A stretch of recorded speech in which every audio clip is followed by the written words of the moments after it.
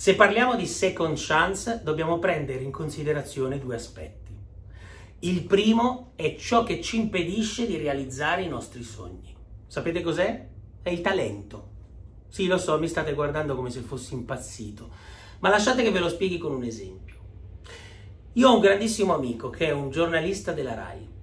Dalla, da quando è nato ha sempre avuto il sogno di lavorare e vivere negli Stati Uniti d'America. Io lo conosco da otto anni, da quando ho iniziato questa avventura negli Stati Uniti. E ogni anno, ogni volta che parliamo, gli propongo sempre qualcosa che, possa, che lo possa aiutare a realizzare il suo sogno. E la sua risposta è sempre la stessa. Eh Stefano, ma io so fare solo il giornalista. E la mia risposta, la mia correzione è puntualmente la stessa. No, caro Dario, tu non sai fare solo il giornalista tu hai dimostrato di saper fare persino il giornalista. Sì, perché in realtà spesso non riusciamo a cogliere le opportunità e a realizzare dei progetti perché ci siamo costruiti attorno una gabbia le cui sbarre sono i talenti e ciò in, in cui siamo stati bravi fino ad oggi. Cioè ciò che ci ha reso qualcuno in un settore. Perché ancora ci portiamo dietro il retaggio delle generazioni precedenti, dove per tutta la vita si faceva lo stesso lavoro, si entrava dal posto più umile di un'impresa, poi con il tempo, con l'anzianità si cresceva e si arrivava il fatidico giorno della pensione come fantozzi quando si usciva e c'era la grande festa. 40 anni, 30 anni, 50 anni nella stessa impresa, facendo lo stesso lavoro stes- nello stesso ufficio. Oggi non è più così, questa etichetta non c'è più. Piacere, Stefano Versace, broker assicurativo. Piacere, Dario Celli, giornalista RAI. Piacere, Mario Rossi, falegname. Oggi non si usa più, non si dice più. Perché negli Stati Uniti, se tu lavori per oltre 5 anni nella stessa impresa facendo le stesse cose, perdi valore. Perdi valore perché automaticamente hai dimostrato di non saper essere d'utile, di non saperti adattare a un mondo che cambia sempre più freneticamente.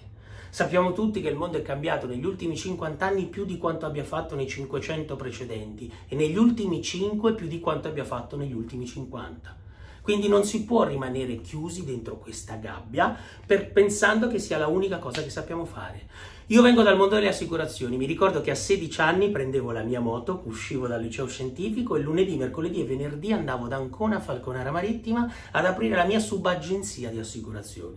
Ho iniziato così, facendo piccole polizze, eh, vendendo polizze auto, polizze vita, polizze infortuni. Poi sono cresciuto, ho imparato nuovi, nuovi aspetti di questo lavoro, fino a diventare un esperto e broker assicurativo di enti pubblici, al punto tale che il più grande broker al mondo mi disse per favore vieni a lavorare da noi perché sei diventato un incubo, ti troviamo ad ogni gara pubblica.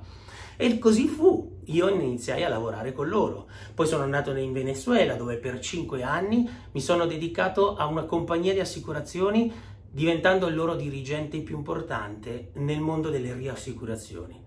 Il mio mondo per 16 anni è stato quello delle assicurazioni. Piacere, Stefano Versace, broker assicurativo. Poi ho deciso che era il momento di cambiare. Ho deciso che quei talenti che avevo dimostrato in questo mondo li potevo utilizzare in un altro.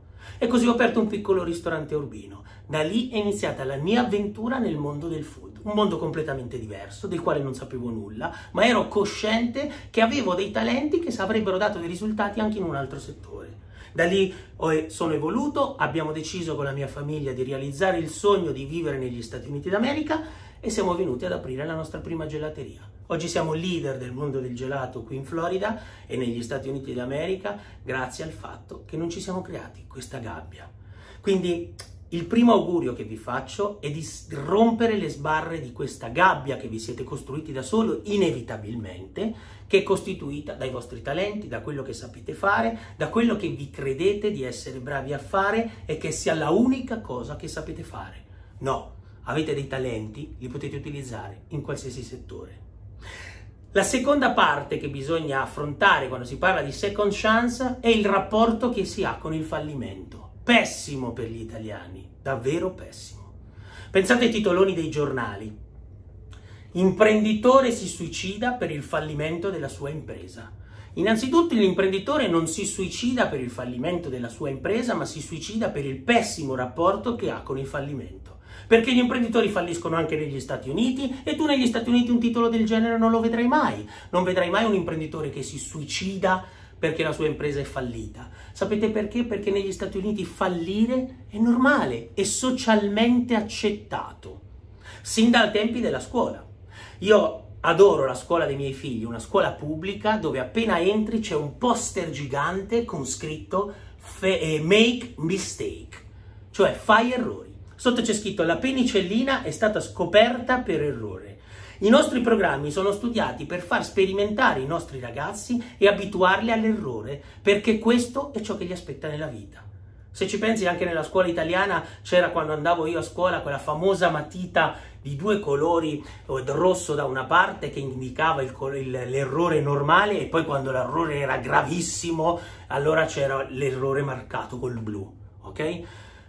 Si penalizza, si castiga chi sbaglia negli Stati Uniti non si castiga chi sbaglia perché se vai a scuola è perché devi imparare, è normale che sbagli, si premia chi ce la fa. E questo non aver castigo sin da bambini ti permette di cominciare a vivere l'esperienza della vita senza aver paura del fallimento. Ora, c'è una frase che io adoro tantissimo negli Stati Uniti che si chiama, che dice fail fast, cioè fallisci rapido, fallisci velocemente perché prima fallisci, prima raggiungi l'obiettivo. Prendiamo la mia storia. Io negli, negli otto anni che ho creato qui la catena di gelaterie più grande degli Stati Uniti, avrò chiuso almeno una dozzina di gelaterie. Ma senza la chiusura di quelle 12 gelaterie più o meno, oggi non avrei una ventina di gelaterie prestigiose nei migliori angoli di Miami. Possiamo considerare quelle 12 gelaterie un fallimento o un passaggio obbligato? Se ci pensi, hai fallito dal primo giorno che sei nato. Hai fallito quando hai iniziato a provare a camminare, hai fallito quando hai iniziato a parlare, hai fallito quando hai iniziato a studiare matematica, hai fallito quando hai studiato, hai cominciato ad andare in bicicletta. Però oggi sai parlare, sai camminare, sai andare in bicicletta, due conti li saprai anche fare, e questo perché sei passato per quei fallimenti senza paura, senza problemi, capendo, facendo tuo sin da bambino, che sbagliare era normale. Ecco, quindi quel fail fast che dicono negli Stati Uniti significa non aver paura, comincia subito a fallire, comincia subito, non aspettare il momento perfetto, procrastinare è dovuto al fatto che abbiamo sbagliato, avevamo paura di sbagliare. Aspettiamo il momento giusto per fare le cose. Il momento giusto non esiste, il momento perfetto non esiste, la perfezione è qualcosa che uccide l'imprenditoria, uccide la vita delle persone, bisogna fare tentativi, bisogna provare, bisogna sbagliare, bisogna correggere, perché solo correggendo gli errori si raggiunge il successo. Quindi il mio più grande augurio che posso farti, a te che stai vedendo questo intervento, è quello di prendere la valigia, di metterci dentro tutto ciò che hai sempre sognato di realizzare, di metterci dentro i tuoi sogni, i tuoi obiettivi, i tuoi desideri, metterli dentro e uscire fuori. Uscire fuori e cominciare a fallire. Ti auguro di fallire il più presto possibile, perché il successo è quel premio straordinario che si trova dietro l'angolo dove hai commesso l'ultimo errore.